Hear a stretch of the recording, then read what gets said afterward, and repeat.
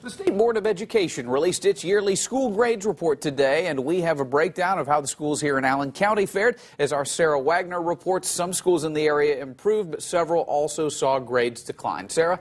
Mark, the A to F grading system has been used for the past two years, and local school leaders have a mix of reactions to the results.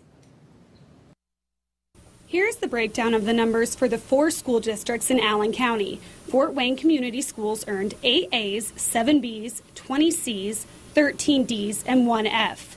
East Allen County Schools got 3 A's, 6 B's, and 6 C's. Southwest Allen County Schools earned 5 A's, 2 B's, and 2 C's. And Northwest Allen County Schools received 6 A's and 4 B's.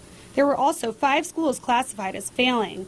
Four are chartered or private, and one is an FWCS school. FWCS says the grade for Shawnee Middle came as no surprise, and there are plans already in place to improve that school. It didn't take these letter grades for us to know that we needed to put some, some additional supports in place at, at Shawnee.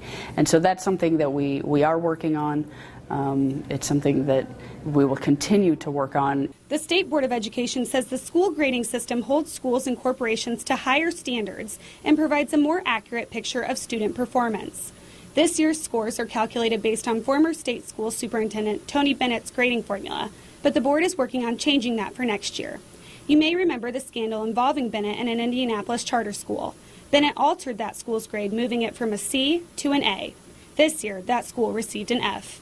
The new system will go into effect starting with the 2014-2015 school year. Well, FWCS says the current report is an important measure, but they also use their own system to judge performance and success. But some school leaders are pleased with this year's results. East Allen County Schools Superintendent points to several different factors for their success and improvement the data meetings that we have, the professional development we um, have for our uh, teachers, the fact that parents can look on um, our website, see the curriculum, the parents can monitor the grades of their students, they can log in daily and see how their students are doing. The fact that we're being proactive, not reactive.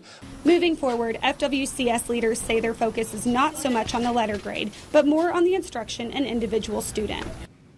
And if you'd like to see your child's school grade, you can head over to wane.com for a full list of schools in the state. And that report not only includes grades from this year, but also the past two years. Okay, Sarah Wagner tonight. Thanks. We appreciate it.